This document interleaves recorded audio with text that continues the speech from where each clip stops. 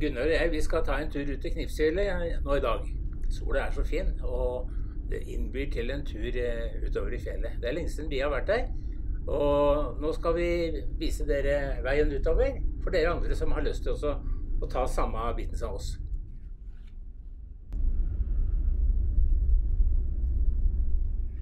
Rett nedenfor eh, Hurum kirke og det gamle kommunehuset Håtun tar vi av eh, bort mot idrettsbanen. Det er godt skilta. Eh, så er også sykehjem der. Og Du ser også disse høye massene som står der borte.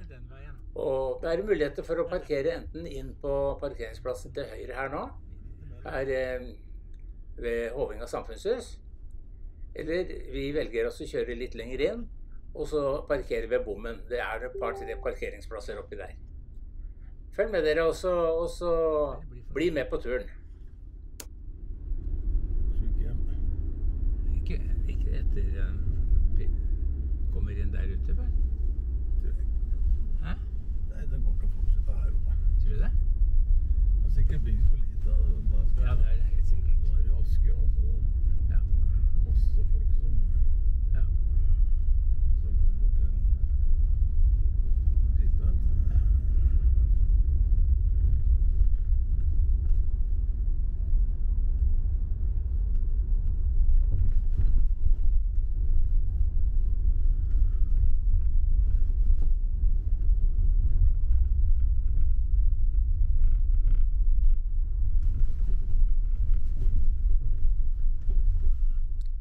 Fra Hovinga og, og ut til Knivsfjellet så er det vel en, rundt en tre kilometer, vil vi jeg tro. Og ca. en tre kvarters tid tror jeg vi bruker ut hit. eh, kanskje en time. Ja, Avhengig av tempo og åssen vi stopper og sånn. God tur. Følg med. Her er vi ved bommen, ja. Da er vi på tur igjen. Gunnar og jeg. Og nå er vi på vei ut på Knivsfjellet. Vi kjørte opp ved sykehjemmet på Klokkarstua og forbi idrettsbanen. Og så kjører vi bare videre innover. Og så er det noen plasser å parkere før du nærmer deg bommen. Du kan sette bilen der. Eller kan gå fra, fra parkere nede ved samfunnshuset på idrettsbanen der, på Hovenga. Det er også muligheter for. Hvor langt er det innover, Gunnar?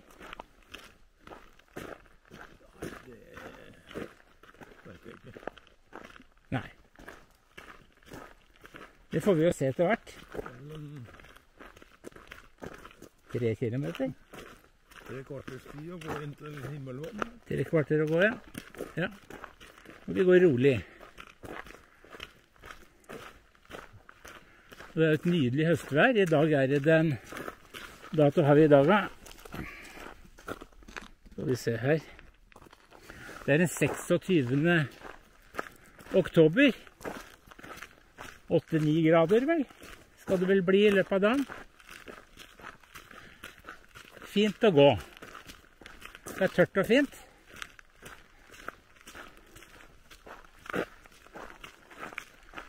Og vi håper på at det skal bli en flott utsikt. Det var ikke noe tåke eller noe i dag, så det er litt ålreit. Nå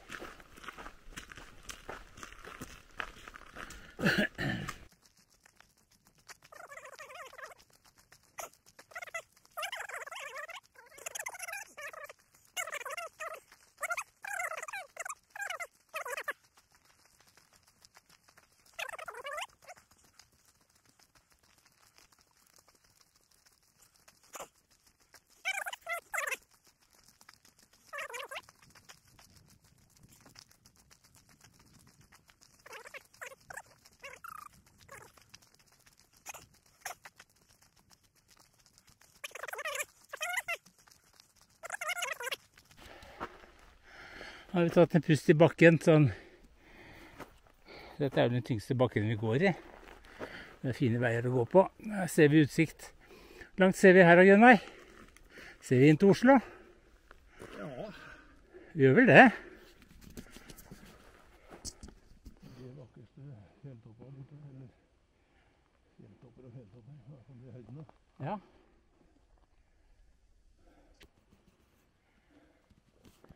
Syns jeg ser et tårn bortpå der. Ute med Grefsen. Ja, du ser et tårn du òg, ja?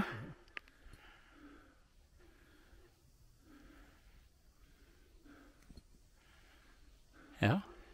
Det er vel ikke der? Nei, det er vel lenger der. Er det ikke det? I nærheten av Holmenkollbakken? Lenger mot øst, ja.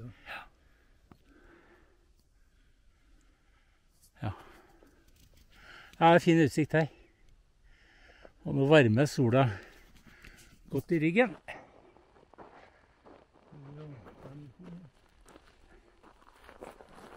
Ja. Ser ned til Holtebrekk. Ja. Ja da, her er fin utsikt, men dit vi kommer blir det enda bedre. Når vi kommer ut på Knivsfjellet. Rundt et par hundre meter over havet. Jeg tror det. Det er bra. Kommer opp her nå, så flater det litt ut. Det er faktisk lenge siden jeg har gått her. Litt siden jeg bodde her oppe.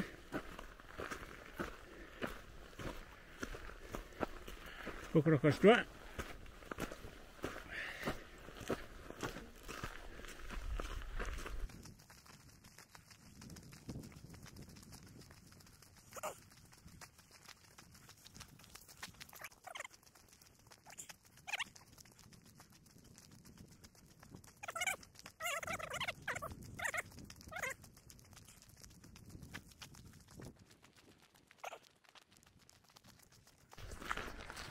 Vei som går inn her. Ja, det er visst inn dette her.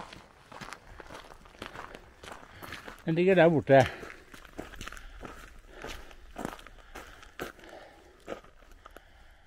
Her er det stille og rolig. Og så går det en, folk har sikkert jakt. nei, og så går det en skogsbilvei rett fram. Den går vel ned til det feltet nede her, er det ikke det? Det hogstfeltet. Ja. Og der går det en sti også som går rundt, og som kommer igjen der nede etter det jeg kan huske. Det er lenge siden jeg har gått. Da går vi vestover.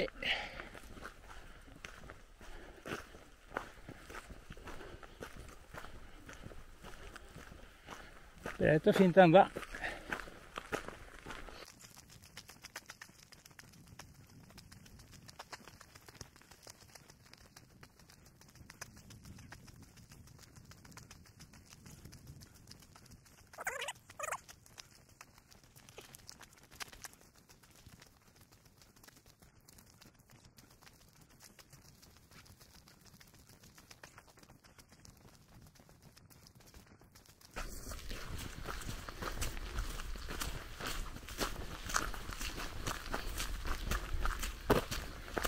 Lettere terreng her, Gunnar. Det er lettere terreng her, ser jeg. Hva vi skal her?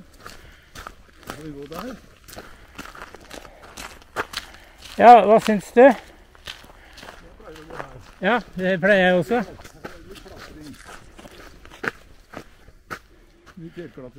Det har hendt at jeg har gått ned og videre. Det er der den merka stien er. Skal vi gå ned dit? Ja, det er opp til deg. Jeg sammen med deg, vi går ned, da. Da går altså en sti inn her for dem som vil. Men det er litt brattere å gå. Men vi går videre ned. Brattere og kortere. Brattere og kortere. Men vi er pensjonister. Vi har tid til å gå rundt. Vi har tid til å gå rundt, vi, Gunnar. Vi har tid til å gå rundt.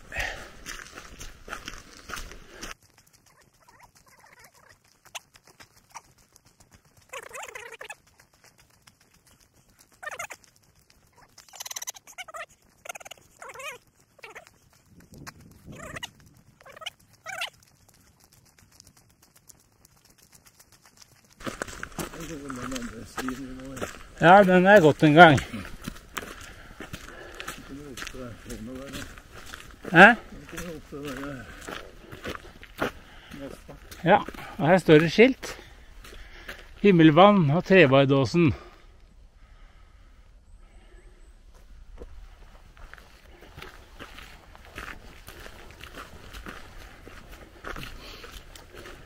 himmelvann. Det betyr at nærmere himmelen kommer ikke, da. Med vann. Ikke vi, nei. nei. Det er riktig, det. Ikke vi.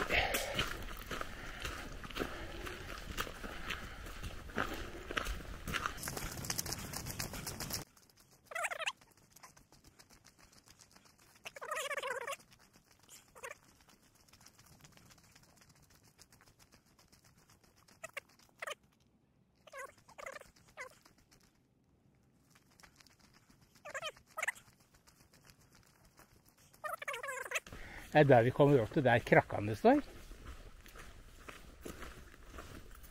Eller er det nedi her? Ja, det er den jeg tenker på. Ja. Ja, det det ja, nå går vi her.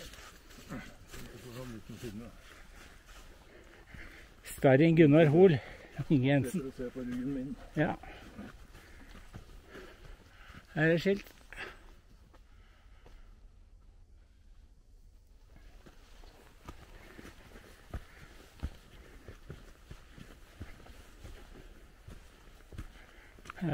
Her er bare løfte beina, for her er det noen røtter.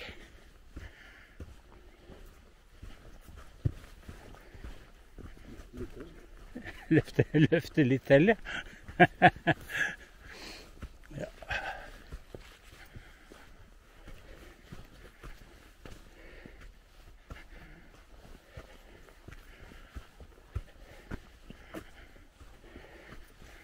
Sier fra han skal stoppe igjen. Nei.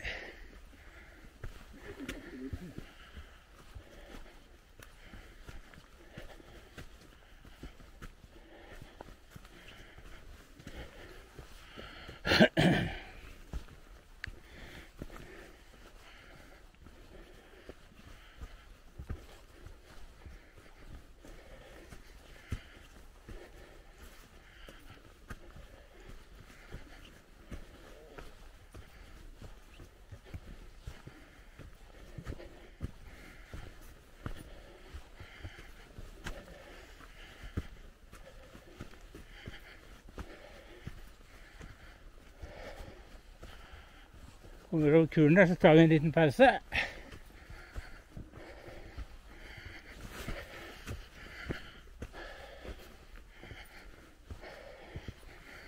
Vi får trena kroppen på her.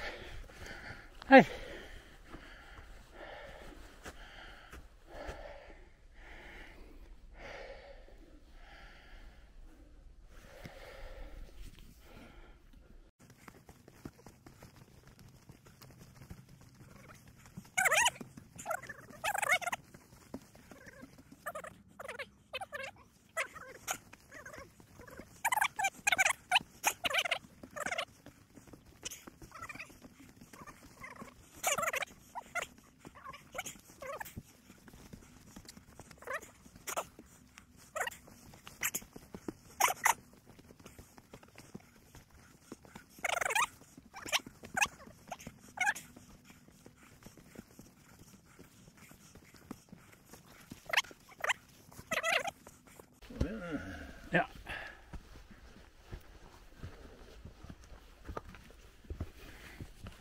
Tok ikke den, jeg, da. Nei, jeg skjønte det. Tok meg seriøst, det, Gunnar. Kan du gå tilbake igjen? Jeg tenkte på. Ja. Ja, ja, sånn, ja. ja. Og Ola er litt feil. Olam er litt feil, ja.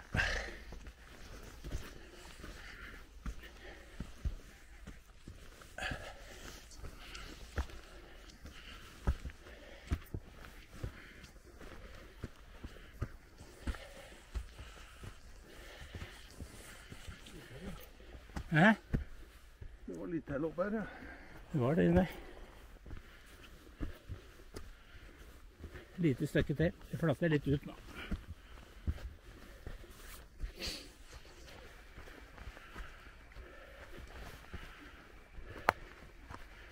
Stopper litt, eller? Er Litt overfor stemma Ja. Se hva som vi ser rundt haugen.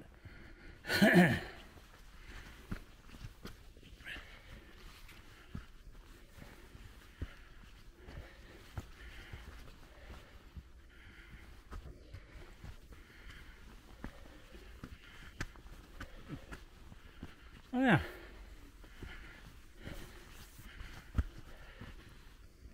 Ja.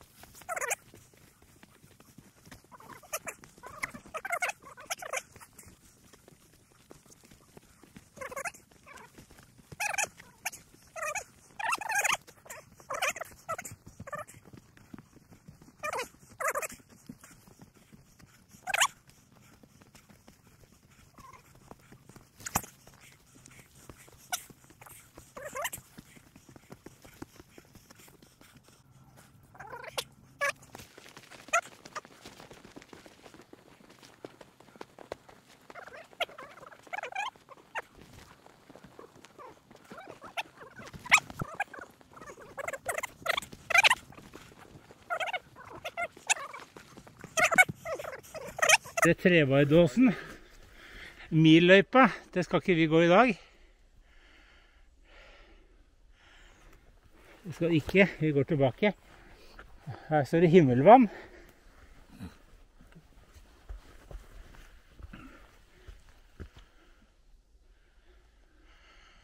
står det nytt skilt der oppe.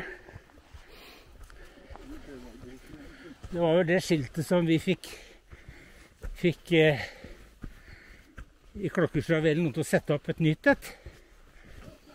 For det var ikke lesende, det gamle som sto der. Skal vi se hva det står på det.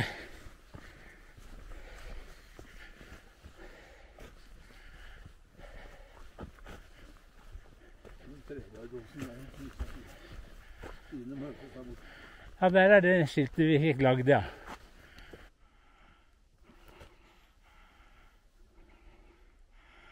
Og sola midt imot.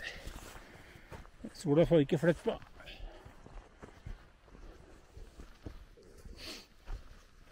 Ja. Skulle kanskje hatt noen andre sko som var litt mer vannavvisende, men det har vi ikke nå. Ja, det er ikke mine. Men det går bra.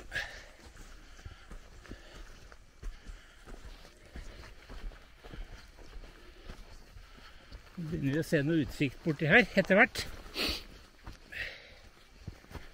Etter hvert.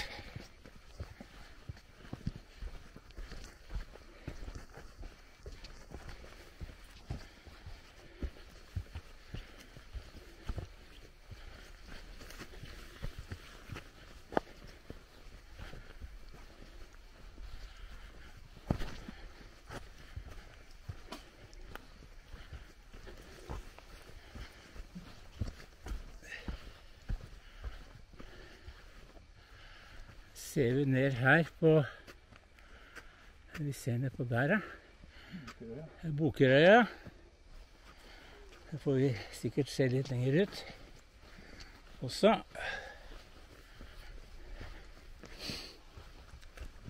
Visste du at det var vært, På Bokerøya har det vært teglesteinsfabrikk? Det har vært mye forskjellig industri utpå der. Jeg vet ikke, jeg hørte ikke hva det har vært.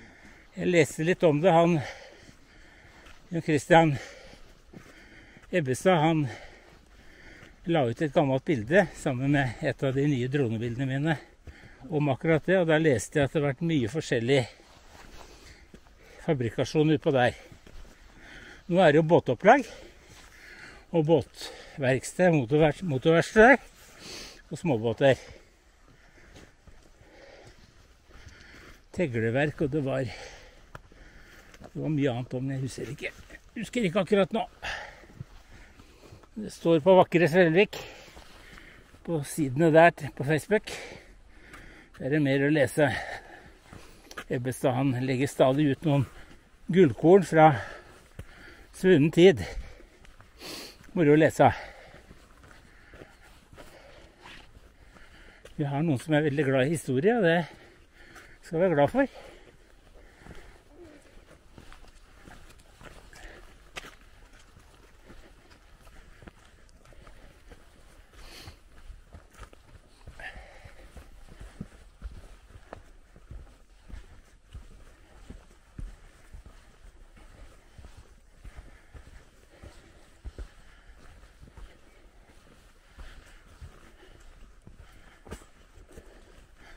Når vi kommer nå, så skal vi se hvor mange skritt det har blitt. Da kan vi også se hvor mange kilometer vi har gått.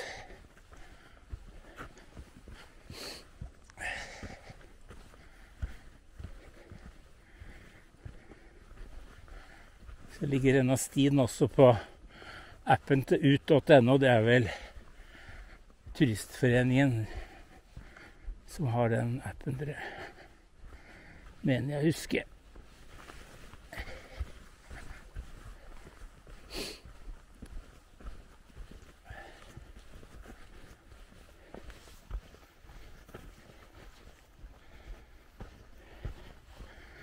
Mye fjell i dette landet, Gunnar.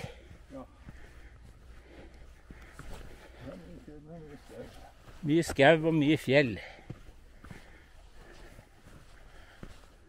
Det er mye for etterveksten av, av befolkningen, tror jeg. Igjen.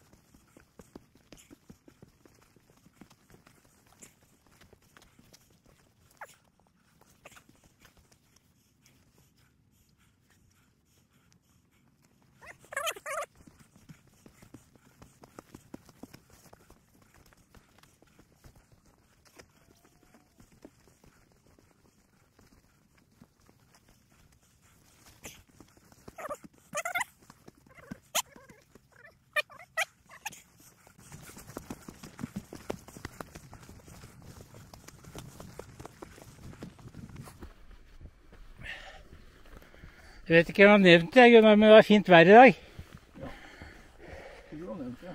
Åtte-ti grader er det vel. Og helt vindstille. Ja, jeg har vel nevnt det. Jeg får si For dere som har akkurat kommet til, har de ikke hørt det, vet du.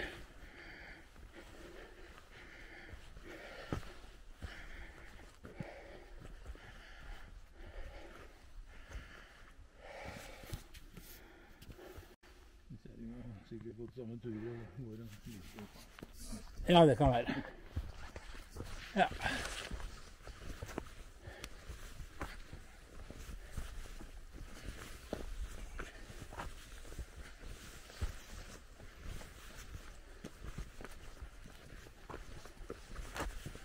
Flater litt ut igjen.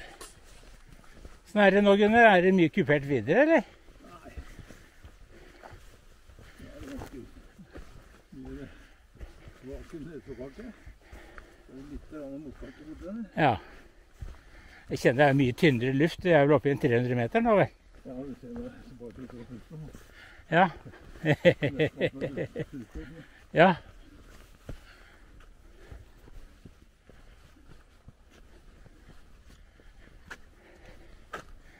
Nei, her har vi ikke møtt noen enda på turen. Dette er en Du får ikke opp høyden på telefonen Jo, det er jeg. Du gjør det. Skal vi gå inn på kartet. Vi kan, vi kan stoppe, så tar vi en pause. Så 280 meter over havet nå viser kompasset på telefonen. Vet ikke om det er så godt å se.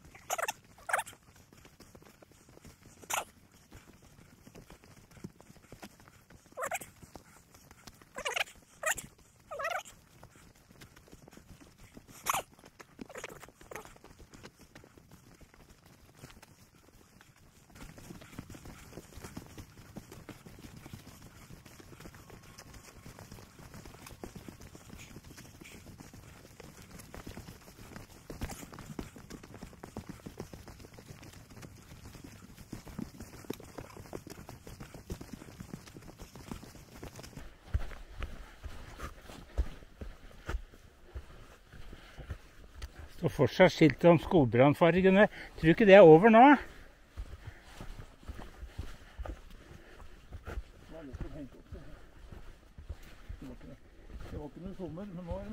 Ja. I sommer hadde hun trengt dem. Og og Nå har vi hengt dem noen år, kanskje. Her har vi hytter. Så har vi de andre hyttene borte der. Skal vi ikke sette oss ut på kanten der borte?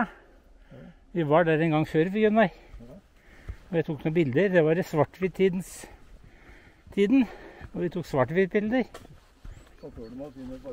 Da hadde de ikke eh, digitalt, sånn som i dag.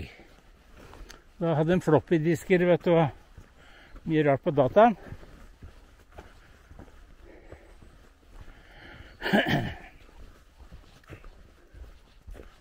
Vi må jo bort på utsikten. Og her spilte den derre De døde tjern. Ja, her er det himmelvannet. Rett der nede, og det er relativt stort. Det er ikke noe ferskvannskilde. Vi går bort litt, da. Så går stien ut der, ser jeg.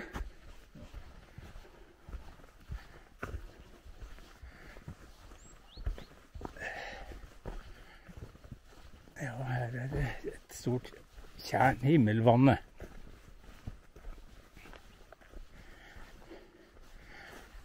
Leste jeg det at det lå på 310 meter, da?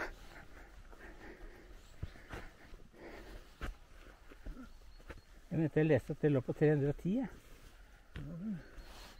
Det skal, ja, vi kan sjekke. Kan sjekke etterpå. Det var vakkert her. Er det ikke en krusning på vannet? Er det noe fisk her? Det er vel noe, kanskje?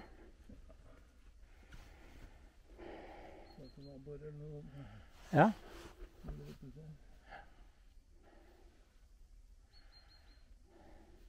Han Lars Christian Driveg, han bada ja. Ja vel. Skulle ikke gjøre gang til. Hvorfor ikke? Det var så vidt han greide å komme opp igjen. Ja. Det var ikke noe, Nei, det er ikke noe å gå på. Du har, du har ei brygge der. Ja, der er bryggen. Den var kanskje ikke der da. Sikkert noen som hører fra hytta. ligger og fører et eller annet sted. Her har vært fint.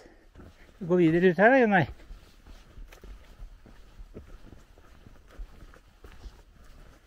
Det blir vakkert.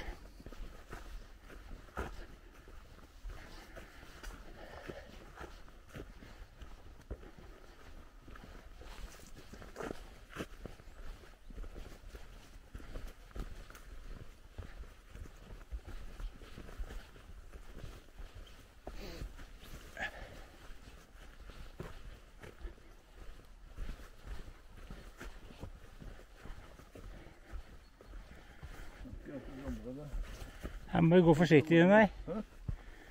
Her kan det være glatt. Jeg tar ett steg av gangen, jeg også. Med min dårlige balanse så prøver jeg å komme over. Det gikk.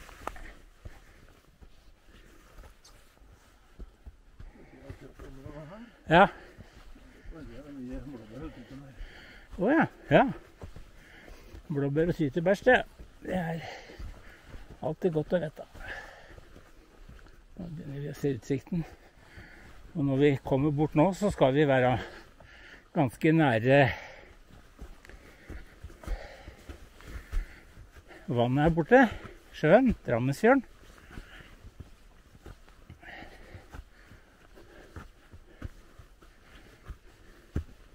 Se ned bort, bort mot Knivsvika. Her borte. Eller?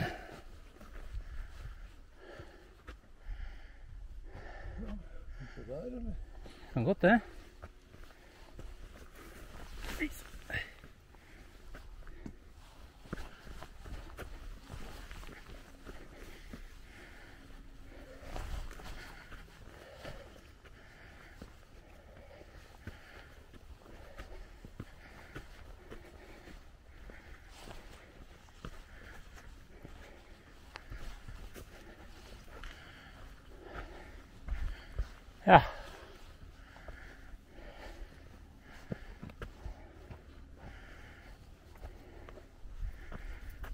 Grodd igjen litt siden jeg var her.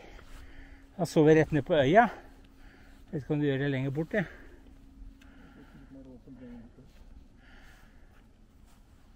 Bokerøya rett ut.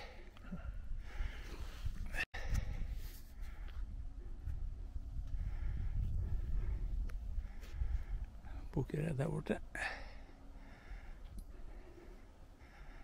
Skal vi gå så langt at vi ser ned på ned til Knivsvika? Det er ikke lange betonanlegget, nei.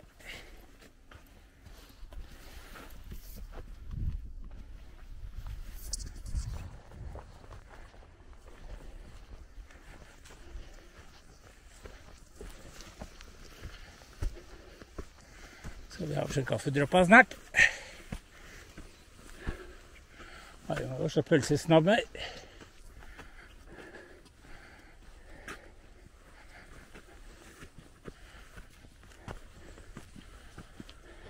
Gunnar og jeg kommet til målet på turen, Knivsfjellet. Og med utsikten som er. Mange av dere har vært der før, og lenge siden vi har vært der. Men nå tok vi en tur. Håper dere har hatt en fin tur med oss. Og så vet dere omtrent hvor dette er hen hvis dere har lyst til å ta dere en tur opp dit. Det er en fin tur.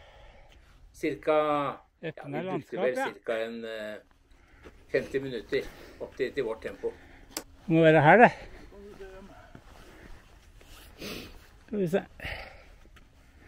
Ikke du vel, Gunnar?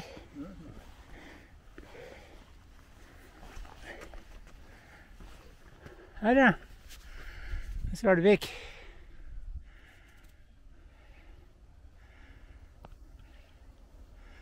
Der har vi Svelvik. I det fjerne.